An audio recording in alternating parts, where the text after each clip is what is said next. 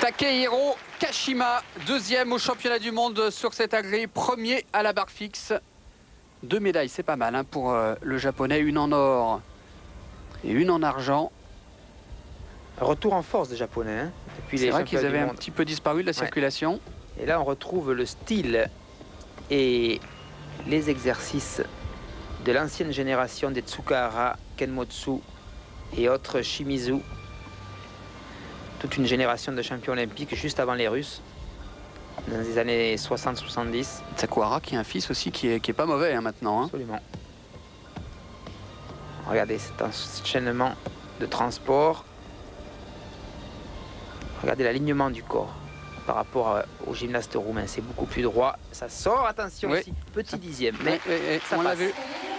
Ça s'est un petit peu emmêlé à la fin.